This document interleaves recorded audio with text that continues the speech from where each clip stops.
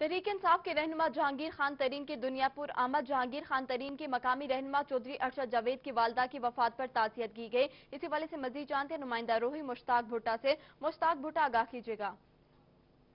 جی بالکل، جہانگیر خان ترین صاحب آج لودھرا میں تشریف لائے ہیں۔ دنیا پور میں ایک سامنے کی والدہ کی وفات پر انہوں نے آج اظہار طبیعت کیا ہے۔ یہاں کے لوگوں سے ملے ہیں، لوگوں سے ملاقاتوں کا سلسلہ جاری ہے۔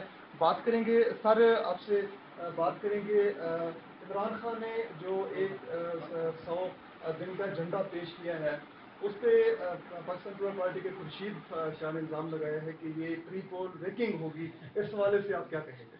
میں یہ کہوں گا کہ یہ ہمارے سو دن کے ایجنڈے سے اور جتنی محنت سے یہ پیش کیا گیا ہے اور جتنے پاکستان کے مسائل کا یہ حل بتاتا ہے، پہلے سو دن میں عمل شروع ہو جائے گا۔ اس سے تمام پارٹیاں ہل گئی ہیں۔ ان کی نیندیں حرام ہو گئی ہیں۔ انہوں نے کسی نے ایسا سوچا بھی نہیں تھا کہ ایسا ایجنڈا وہ خود بنائے اور ایسا انہوں نے سوچا بھی نہیں تھا کہ ہم یہ بنا سکتے ہیں۔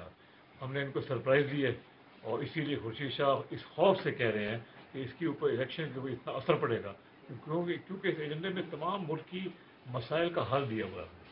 زراعت سے شروع کریں آپ روزگار سے، گھروں سے، ایک ایک چیز کی ہم نے بات کی ہوئی ہے۔